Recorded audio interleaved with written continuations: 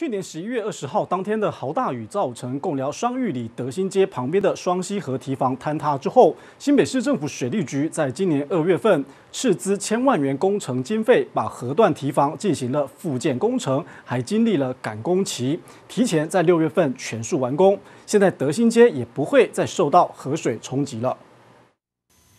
去年豪大雨的影响，造成双溪河水位暴涨。位于双溪河河川供给面的德兴街河段首当其冲，堤防变形约六十公尺长。复建工程在今年二月开工，先行拆除旧有堤防后，施作新的堤防以及旧有护岸补强，并于堤防前增设石溶及钉坝，以降低水流冲击及堤防基础淘刷。好 啊，吼，你有开红边吗？有啊有啊。啊，进前是安怎袂通？放弃的阮啊。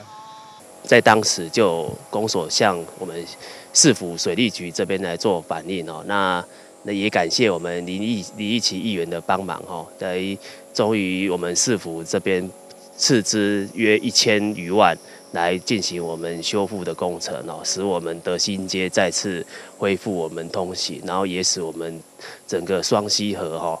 河道稍微再做个整理哈。区公所表示，经过水利局积极赶工，原本预计八月才完工，在六月就提前完工，工程也将双溪河流向稍作改善，以防止德兴街以后继续受到河水冲击。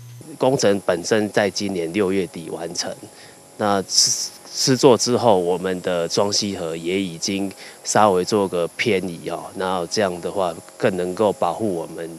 整个护岸以及我们德兴街的一个道路通行安全。公所表示，德兴街是通往草林古道较捷径的道路，但因为堤防复建工程进行，封闭了近两个月的时间，期间造成民众通行不便，也请民众见谅。现在工程顺利完成，也感谢议员林一奇协助争取经费，斥资千万让道路修复完成。谢纯威共聊采访报道。